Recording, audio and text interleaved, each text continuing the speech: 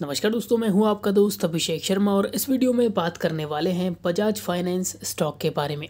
तो शुरू करते हैं आज के 15 मिनट चार्ट की, अगर मैं बात करता हूँ, करीबन डेढ़ परसेंट की गिरावट स्टॉक ने बनाकर दिखाई है। सिक्स थ्री नाइन टू पर ट्रेड करता हुआ नज़र आ रहा है।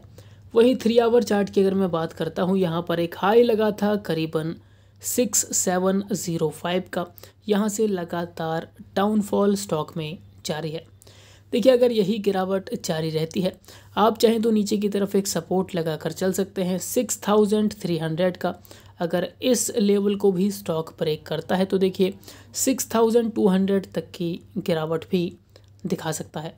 लेकिन यहाँ से एक अपमूव अगर हमें देखने को मिलता है तो आने वाले ट्रेडिंग सेशंस में टारगेट अचीव होंगे। Six thousand five hundred, six thousand six hundred तक के टारगेट्स भी अचीव करता हुआ स्टॉक नज़र आ सकता है।